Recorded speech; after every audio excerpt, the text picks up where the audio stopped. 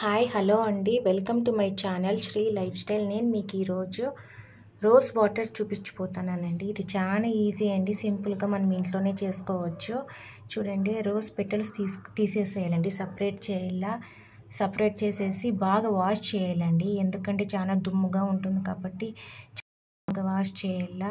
Wash చేసి కొంచెం అయినాక ఒక బౌల్లో వాటర్ వేయాలండి. బాగా బాయిల్ అయినాక ఈ రోజ్ పెటల్స్ అన్ని హాట్ వాటర్లో వేయాలండి. వేసిన ఒక ఫ్యూ మినిట్స్కే కలర్ మారిపోతుంది. చూడండి రోజ్ పెటల్స్లో ఉన్న ఆ కలర్ అంతా వాటర్లో అబ్జర్వ్ అయ్యి వైట్ కలర్ అయిపోయిందండి రోజ్ పెటల్స్.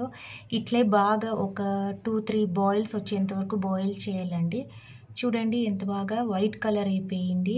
కలర్ అంతాను వాటర్లో వాటర్లో వచ్చేసిందండి కలర్ అంతాను. చూడండి ఎంత బాగా ఇంకా బాగా బాయిల్ చేయాలండి. ఇంకా బాగా బాయిల్ చేసినాక చూడండి ఇంకా కలర్ అంతా ఇంకా చాలా బాగా వచ్చేసింది. బాగా వచ్చినాక మనము పక్కన పెట్టేసి ఒక సిక్స్ అవర్స్ వరకు అట్లే పెట్టాలా.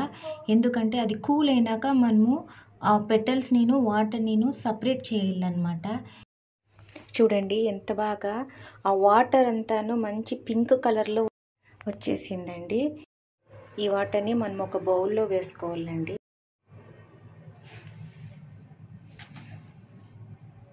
చూడండి ఎంత బాగా మంచి పింక్ కలర్లో వచ్చేసింది.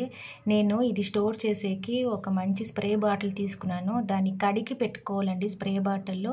ఎందుకంటే కొత్తగా కొన్నప్పుడు దాంట్లో ఏముంటుందో మనకు తెలియదు కదా. అందుకే మనము నీట్గా కడుక్కొని ఈ రోజు వాటర్ దాంట్లో వేసుకోవాలా?